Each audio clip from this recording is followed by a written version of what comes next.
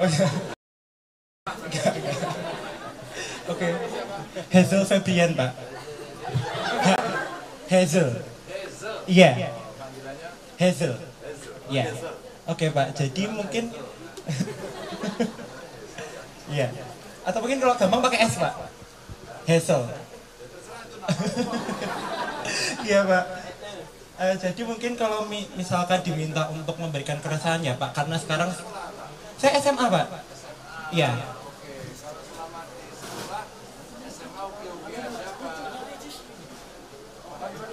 Eh, kalau kalau kebetulan sekolah saya cuma di sini Pak di SMA 1 Klaten dulu Pak Ganjar pernah ke sana Pak. Kalau misalkan untuk di SMA 1 Klaten tuh so far so good Pak aman. Jadi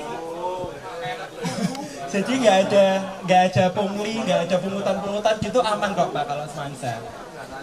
Oh iya Pak. Tapi enggak Pak nggak ada sama sekali. Enggak. Iya.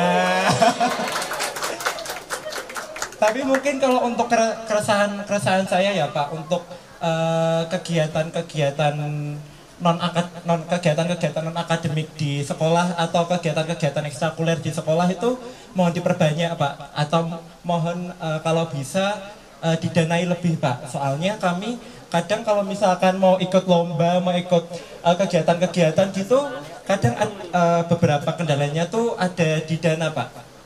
Gitu. Begitu Pak. Kalau ekstra saya itu pramuka sama kalau di SMA saya itu ada namanya majelis permusyawaratan kelas Pak. Kalau pramuka kalau kalau MPK itu seperti kalau misalkan di, di negara itu kayak DPR gitu Pak. Kita biasanya ngapain? Ah, biasanya sidang kita membuat peraturan-peraturan untuk OSIS begitu Pak. Ya, pokoknya dananya bisa diberikan. Aku mikirnya serius jalur duit tiba. Sebenarnya tidak semua harus dengan anggaran ya. Bahwa kita tahu sebenarnya alokasi kegiatan yang banyak itu memang bisa di backup. Tapi ketika anggaran negara tidak cukup, kita bisa membuat betul-betul kegiatan yang ekstra. Jadi tidak menunggu. Model-model anak kreatif biasanya berapa ya anggaran yang ada, nah anggaran yang keluar itu menjadi stimulan aja, tidak membiayai semua. Yang lain biasanya sponsorship, sponsorship mencari, tapi yang penting disiapkan. Tapi ide idenya bagus sih, idenya artinya banyak bakat-bakat yang dimiliki oleh anak-anak pelajar itu ya, yang bisa dikembangkan. Maka betapa pentingnya berorganisasi, ekstrakurikuler itu penting ya. Oke, siapa lagi? Angkat tangan. Ya sini, cewek, cowok, cewek lagi habis ini cowok. Cek, eh, terima kasih atas kesempatannya. Perkenalkan saya Nabila Miftahul Janah, asal saya dari Kecamatan Tulung Bapak. Sekarang saya sedang mengenyam pendidikan di semester 5 di Universitas Gajah Mada juga. Sekarang sedang liburan semester Fakultas Ilmu Budaya Bapak. Iya, betul. Jurusannya Bahasa dan Sastra Indonesia. Ya. Eh, mungkin ya, yang menjadi keresahan saya terkait ini anak muda ya Bapak yang sekarang eh, sedang khususnya berada di Kota Klaten. Saya sekarang juga sedang berada di Forum Generasi Berencana yang itu bergerak pada di eh, kegiatan remaja khususnya untuk kekerasan seksual dan lain sebagainya. Nah mungkin eh, harapan saya untuk ke depannya itu dan mungkin Bapak bisa memberikan solusi atau sarannya itu Eh, gimana sih Pak? Eh, mengajak remaja itu untuk melek terhadap kekerasan seksual entah itu menjadi korban ataupun menjadi punya seperti itu Bapak soalnya eh, kemarin juga saya mengikuti program MBKM kampus mengajar.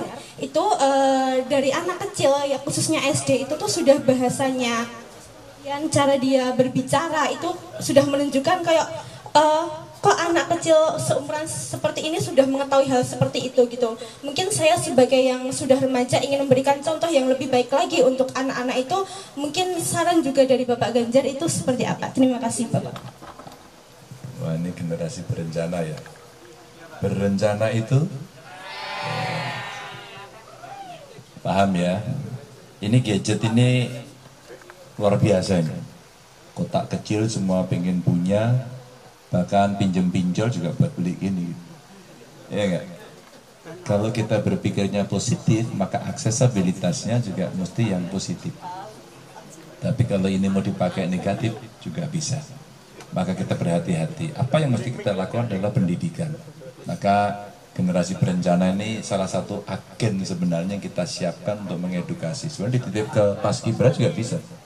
Anak-anak berprestasi, OSIS, influencer. Apa yang mesti kita lakukan? Satu pendidikan. Literasi. Literasi tentang apa namanya eh, psikologi perkembangan anak. Anak kecil kemudian menuju remaja perilakunya berbeda, remaja menuju dewasa gitu kan, itu berbeda. Mulai apa eh, punya ketertarikan dengan yang berbeda jenis kelamin begitu kan itulah menunjukkan keremajaannya muncul nah kalau edukasinya bagus maka anak-anaknya akan diarahkan jangan sampai dia mencari sendiri itu yang penting kalau dia mencari sendiri, sering kali nggak pakai guru, jadi salah. Nah gurunya yang harus mengedukasi. Maka betapa pentingnya sekali lagi ruang diskusi, bertemu untuk menyampaikan. Contoh, eh, banyak kekerasan terjadi pada anak oleh temannya sendiri atau yang lain karena literasi buruk, mereka bergaul, terus kemudian ya terjadilah sesuatu itu. Maka kita juga mencatat pernikahan dini. Pernikahan dini kan banyak. Maka dulu kita kampanye Jo kawin. Nah, Oke, berarti kamu jalan itu ya. Bagaimana kemudian menyampaikan? Ya sampaikan sama teman sendiri. Khususnya perempuan. Satu sekolah, nggak ada yang lain. Eranya era sekolah, sekolah setinggi tingginya jadi itu. Ya, karena sekolahnya tinggi yang dipikir itu adalah bagaimana dia belajar, bagaimana besok ujian, bagaimana berorganisasi tadi ya. Maka kesibukannya menjadi produktif. Bukan kemudian nganggur diem aja nggak pernah baca, aduh pikirannya ke mana-mana. Itu mudah, mudah dibawa pada hal, -hal negatif ya.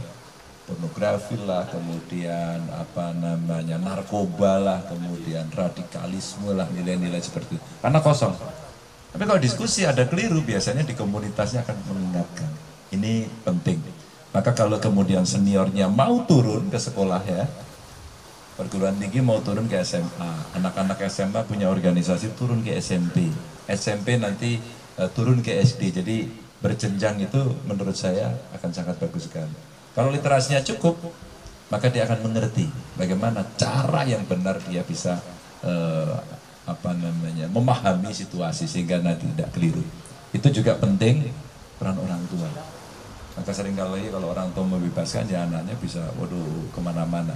Orang tuanya mendampingi. Jadi kadang kan udah dipasarin sama gurunya. Emang ketemu guru berapa lama sih sehari? Berapa jam kira-kira ketemu guru? 8 jam. Namun lebih banyak ketemu guru atau orang tua? Pasti orang tua.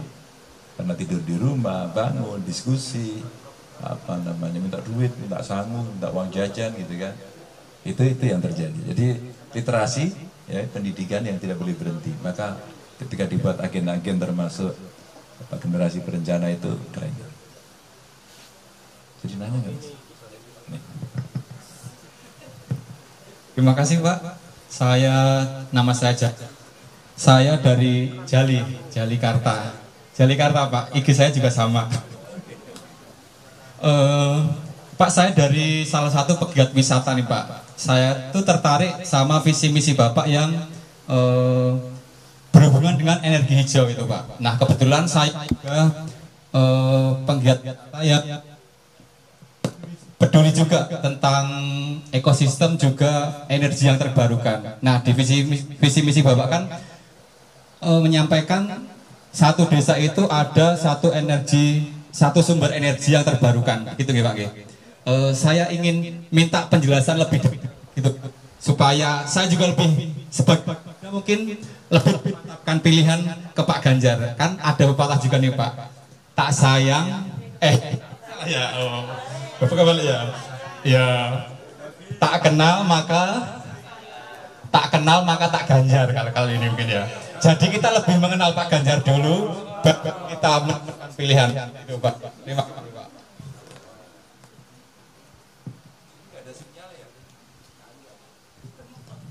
Ya ini loh, saya cuma satu strip aja ini. Tapi itu free wifi. Oh saya kira free wifi. Salah tulis itu. Free wifi. Iya nggak bisa. Ini sudah di kota, internetnya lemot ini. Pernah dengar gas rawa nggak? Belum ya, gas rawa. Googling. Eh. Tulis. Oh iya, ya kan itu ada free. Tulisnya gini, Jateng gas rawa. Coba keywordnya itu. Yang sudah angkat tangan. Karena yang dibalik yo baunya kaosnya, kaosnya bau, kaosnya bau. Itu ada ada orang buang angin itu. Udah ketemu belum? Bisa. Itu ada free. Ini udah nyambung. Oh, bakulera kan. Jadi ada sebuah kejadian waktu itu kalau tidak salah di Seragen atau Karanganyar saya lupa. Apa? Apa? Apa? Nemu apa? Hah? Masa langsung tahu kamu ya. Ada wajah saya nggak? Ada ya. Sama ibu-ibu ya. Benar kan? Jadi kalau saya bicara kemudian seperti itu, Pak Ganti orang punya ide. Karena pernah saya lakukan. Ada lo yang cuma ngomong aja, belum pernah ngapa-ngapain ya. Kan kamu mau, ya, mau milah saya tuh. Lo lah iya. Biogas dari apa? Gak usah minta maaf. Kalau mau minta maaf formal nanti Idul Fitri. Ya. Kotoran apa? Kotoran ternak apa kotoran manusia? Ya. Di biogas, biodigester gitu ya. ya. Ya, ya. Udah pernah lihat instalasinya?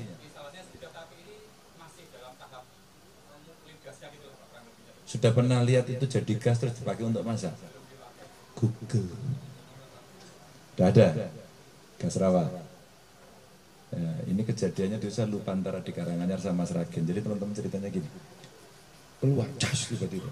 Orang gali keluar cas. Ada airnya. Terus nyala. Terus kira-kira di "Oh, ada air bisa nyala. Eh, ini karena pengetahuan kita kurang. Saya kirimkan tim, kemudian dicek ternyata ada gas metan. Gas metan itu ternyata di bawahnya itu yang disebut sebagai gas rawa sebenarnya. Bahasa ya? bahasa kampungnya lah menurut. Jadi ada gas metan. Gas metan itu adalah lapisan di bumi yang kira-kira terbentuk sekian mungkin juta tahun yang lalu dan tersimpan. Jadi kejebak gitu. Kejebak terus kemudian tembus, bocor, keluar. Beda.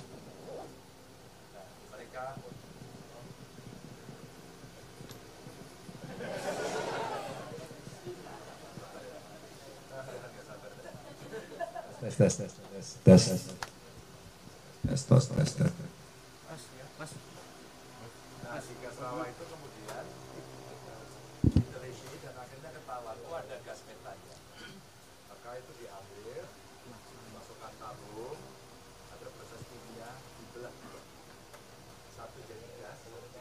air dibuat nah, ini ilmu pengetahuan ya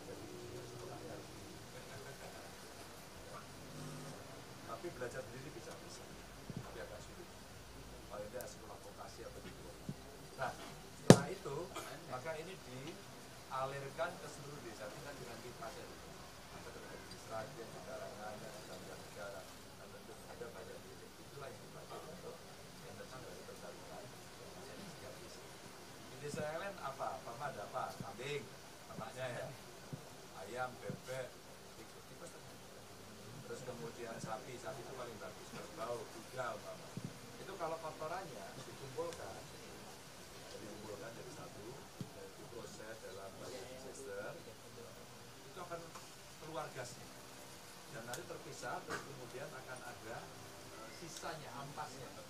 Ampasnya itu kalau dibuang ke sawah ini sawahnya sudah dibuang ke sini sawahnya sudah tapi gasnya dikemanakan itu kan ditampung tidak bisa itu jadi dimasak dulu di situ diperam dulu di situ sampai keluar gasnya ditampung ini disalurkan ke rumah tangga maka tadi sudah menggunakan nah itu cara bagi dua ini. Yang ketiga ya seperti hari ini. Panasnya luar biasa. Ya? Ya. tapi dibuang. Bayangkan nggak kalau besok kalian sekolah lebih pintar gentengnya ini adalah panel surya atau genteng di atasnya panel surya kalau kemudian itu bisa kita lakukan panel-panel surya di seluruh atap itu bisa menyimpan panas. Panasnya dimasukkan ke baterai. Bagi berbagi dengan PLN. Nah ketika kita dengan PLN maka sebenarnya tiap desa akan punya kemandirian energinya. Ini baru tiga kemudian kita mau lebih lagi kita bisa pakai uh, umpama sampah sampah itu juga sama bisa diproses ya kemudian itu antara lain tapi kalau kalian ke dia siapa pernah ke dia baru satu orang kasih kamu nggak pernah piknik ya. Bareng-bareng pak jauh.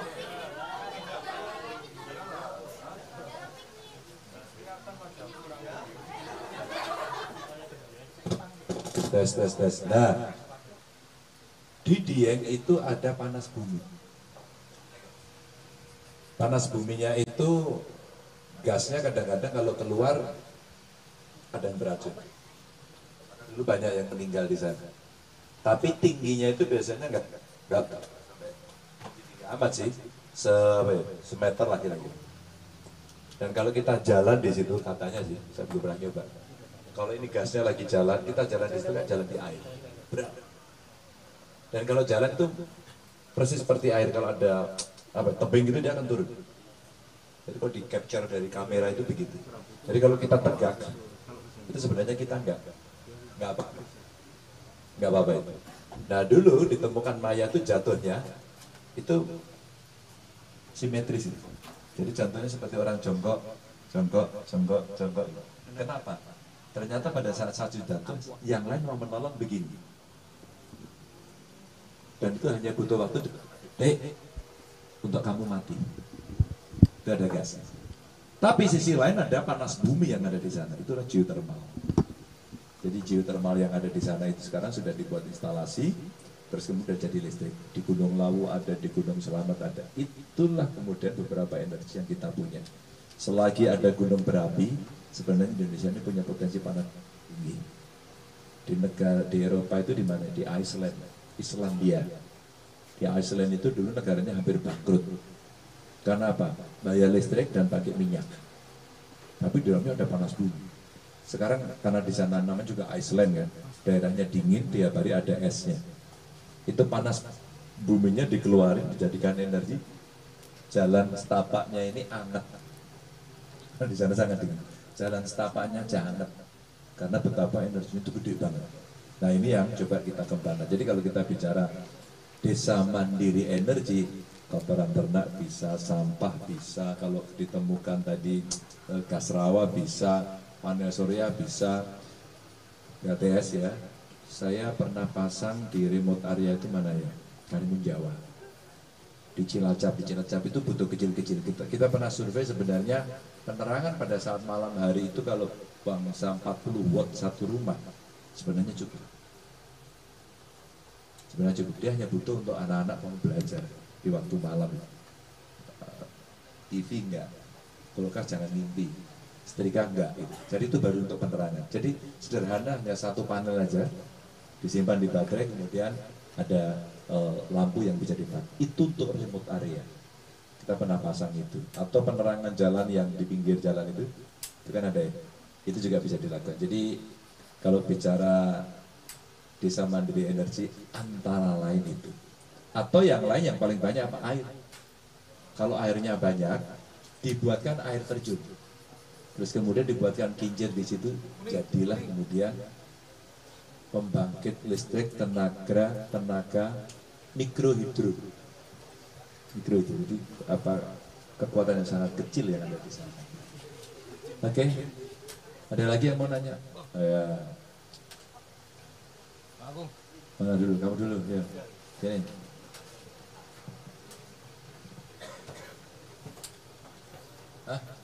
Mundur boleh, terserah aja. Kalau saya sih maju terus saya nggak punya, nggak bisa mundur saya. Jadi saya mau nanya. Eh, bagaimana pengembangan Bapak terhadap industri film di Indonesia, Pak? Melihat negara seperti Korea kan bisa mem sama terakhir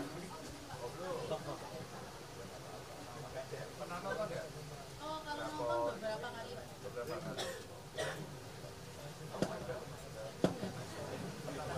Belum.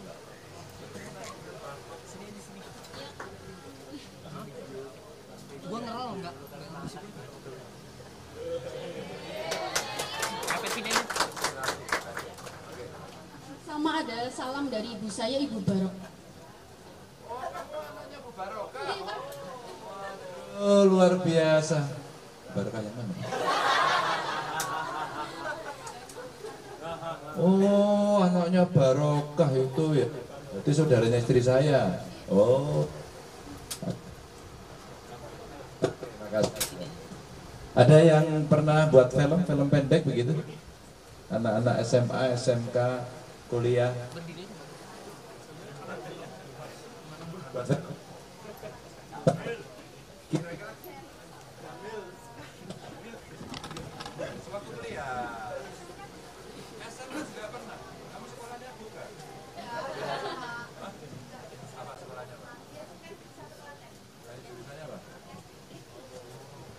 Iya.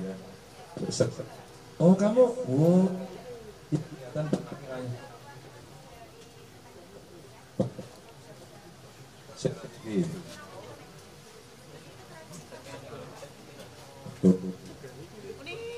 Iya. Kejawab belum? Sudah? Udah kejawab belum? Belum, nggak ada nyam, nggak nyambung itu tadi. Bagaimana perhatian terhadap industri? Maka bisa kita lakukan. Ini kenapa malah mengganggu? ya?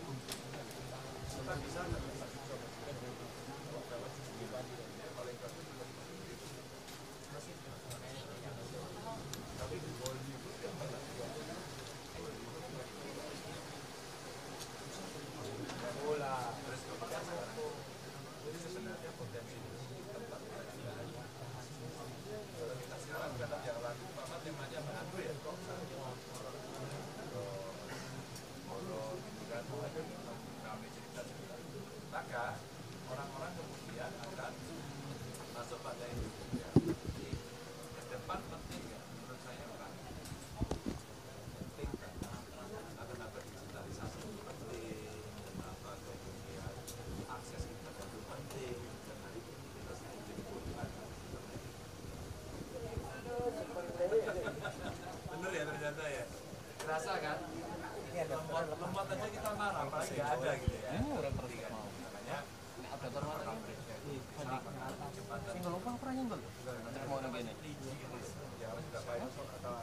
Tetep mau gitu. Nek mati kan mati.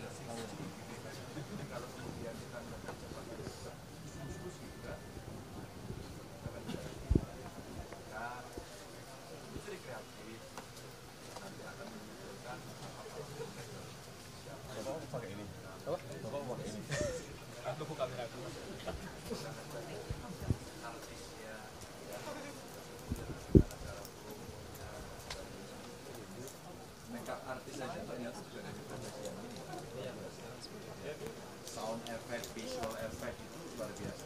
Jadi saya nemu banyak anak muda yang eh, ada di situ. Tes tes tes. Oh enggak ada mas. Oh gitu. Kirain digantiin. Kamera pak.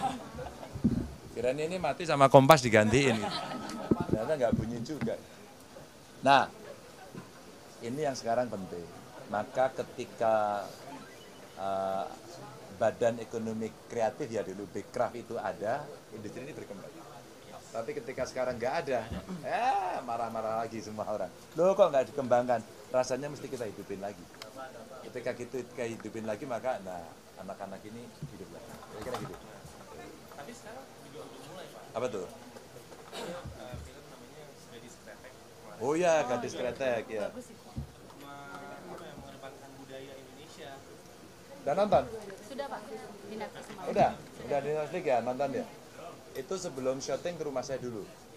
Untuk ekspor kan itu ceritanya tembakau. Cerita tembakau di mana? Settingnya di Temanggung ya. Temanggung, Magelang, Muntilan, di Muntilan. Muntilan.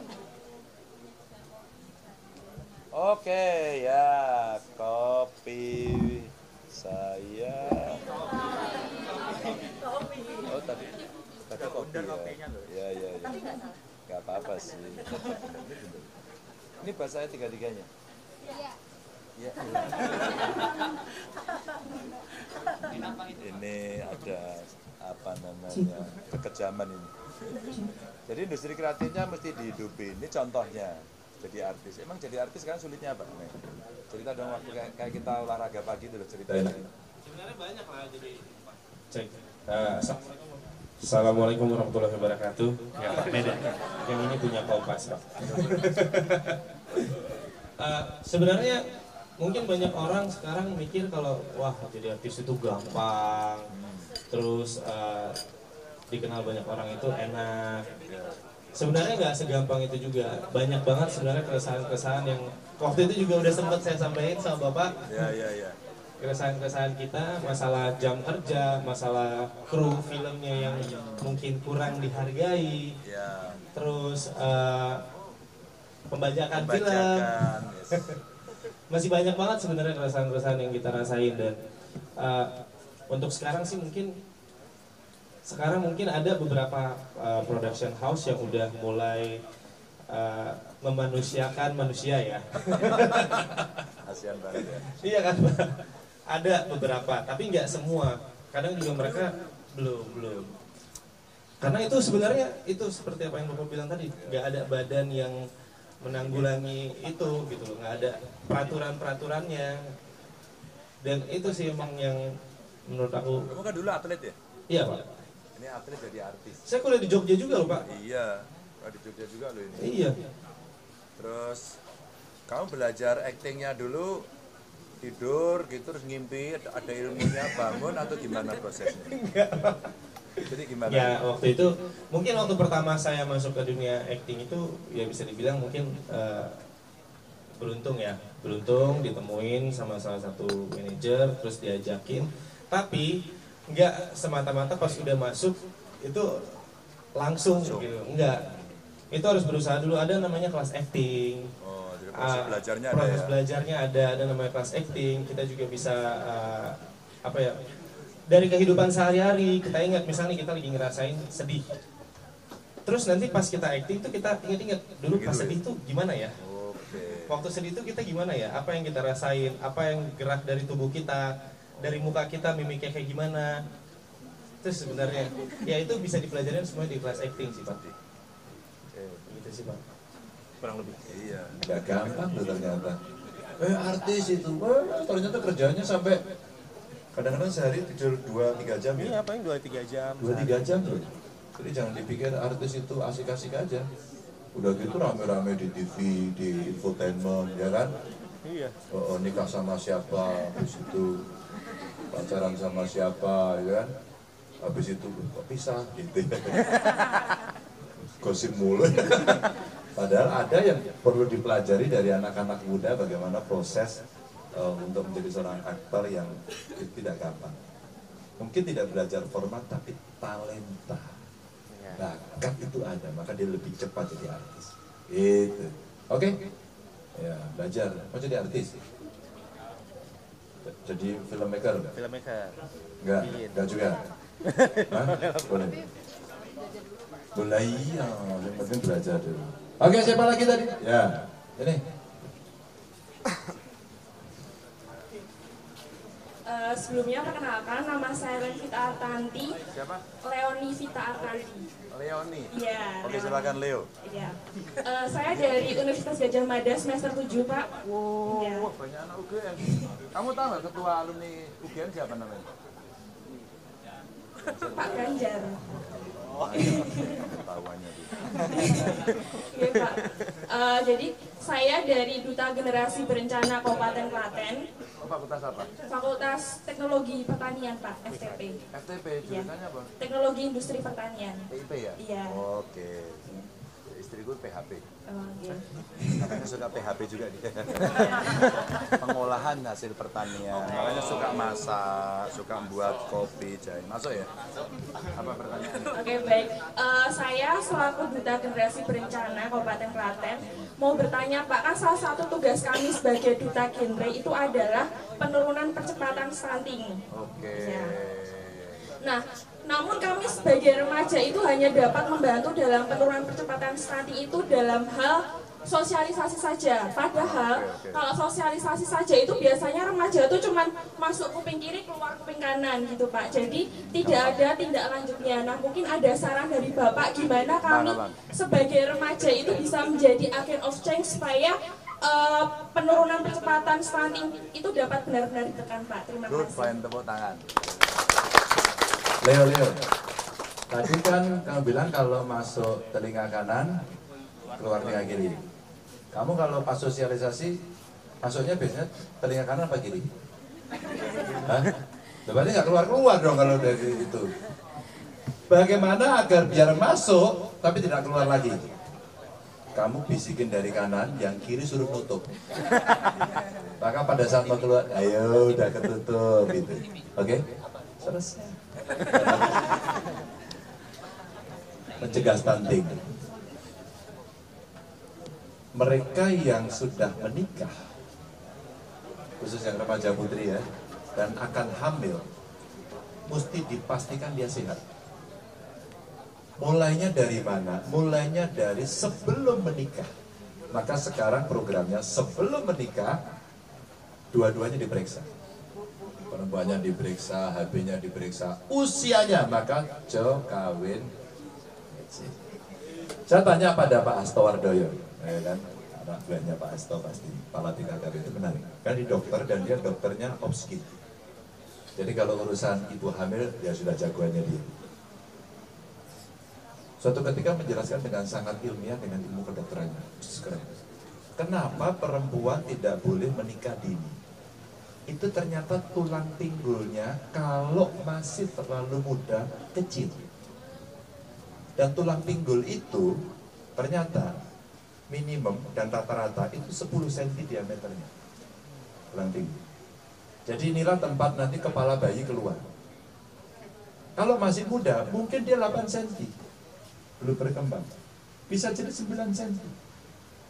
Nah, lingkar kepala bayi itu maksimum 9,9 cm. Loh, sampai saya belajar. Jadi kalau dia sudah dewasa, sudah mapan, tulang pinggulnya itu cukup, maka sebenarnya itu salah satu ciri-ciri kenapa dia sudah siap. Ya ada ciri-ciri yang lain, tapi waktu saya dijelaskan itu make sense. Kenapa tidak boleh menikah dini. Yang kedua mental, itu fisiknya dulu. Mental. Mentalnya udah siap belum? Aku dulu suka nonton film lama pernikahan dini. Oh, iya. Siapa? Agnes Monica ya? Iya, Pak. Ya, itu kan rame, cocok mulu.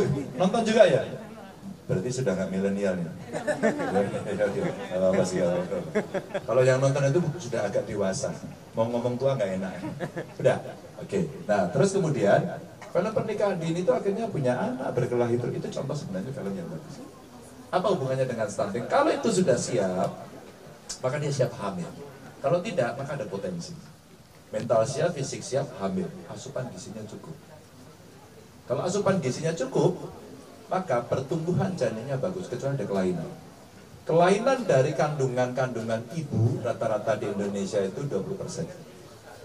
20% itu ada kelainan. Peristilah. Coba terlalu terlalu apa?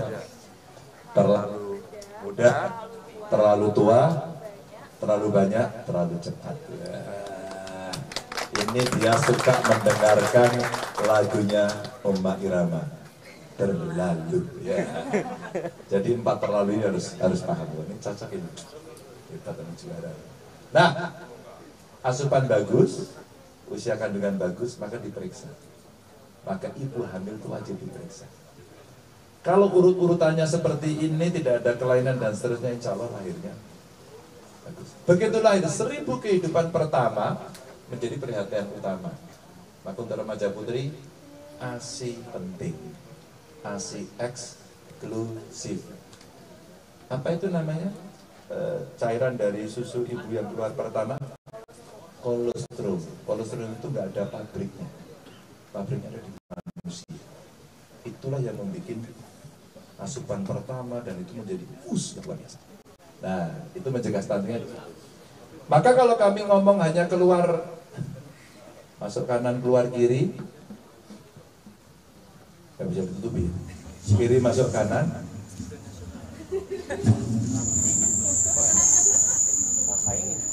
saya kira mau ngajak duel. Nah, sampai mana tadi? Masukkan kiri, keluar kiri, keluar kanan. Jadi begini. Jadi ya teman-teman.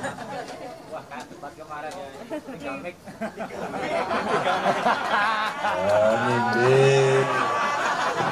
Karena nanti tes, tes, tes, tes. Ini aja lah. Kembali ke asal. Kalau tiga menit dikira debat. Ya, terus sampai maka asal kanan keluar kiri gitu ya, apa sebaliknya.